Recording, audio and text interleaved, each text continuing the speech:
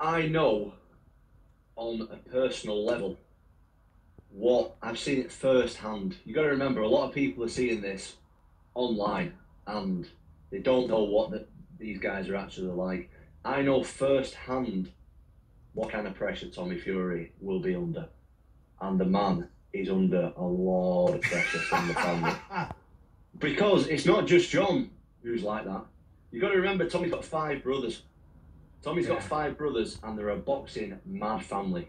And Yeah. cousins who box, you know what you know what the, the travelling people are like. Oh They no, are- they're, they're all into boxing.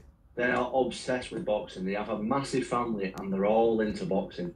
And if you had a bad spar, you would get you, you get absolutely demolished over there. So never mind losing a fight that magnitude in front of millions of people. The pressure he, he must be under right now, Tommy. And Tommy, let me tell you, Tommy's a lovely guy. He's a, he's a top guy. Is he? Yeah.